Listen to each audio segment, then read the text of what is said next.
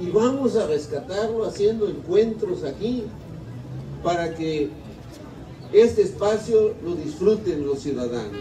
Estamos en el rescate de nuestros espacios públicos para la mejor convivencia y rescatar un tramo de las vías para las bicicletas es contribuir al cuidado del medio ambiente. Felicidades.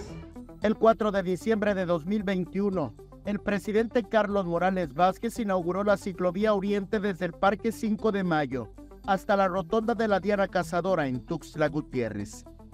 La construcción de la ciclovía en la capital de Chiapas buscaba garantizar un tránsito seguro para los conductores en bicicleta.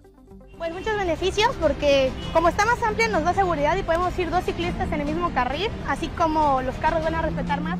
La obra inaugurada hace poco más de dos años por Carlos Morales abarcó un tramo de 500 metros de distribuidor vial y tuvo un costo de 173 millones de pesos.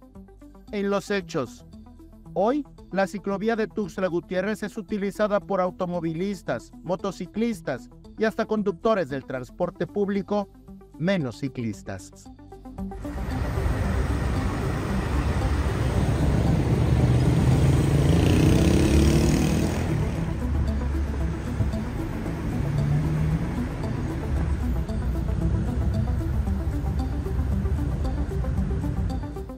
Con imágenes de Christopher Canter, Eric Ordóñez, Alerta Chiapas.